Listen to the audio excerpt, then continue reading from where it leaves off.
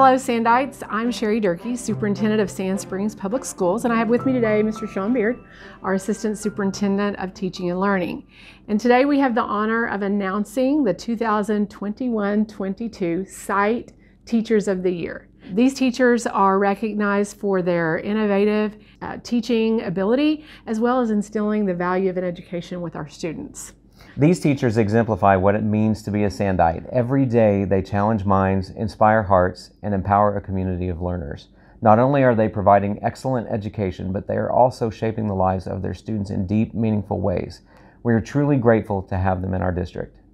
So, without further ado, we are proud to announce the following as our Site Teachers of the Year. From Early Childhood Center, Miss Julie Wagner. From Angus Valley Elementary, Miss Jerry Carter. From Pratt Elementary, Miss Pamela Eubanks. From Limestone Technology Academy, Miss Tara Elledge.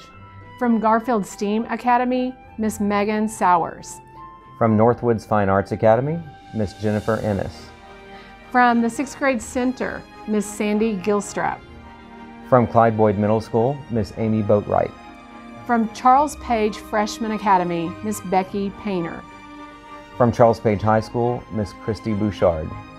From the Sand Springs Virtual Academy, Miss Casey Yateman. From the Tulsa Boys Home, Miss Jill Sandberg. Five teachers from this list will move on as finalists for the district-wide Sand Springs Teacher of the Year Award.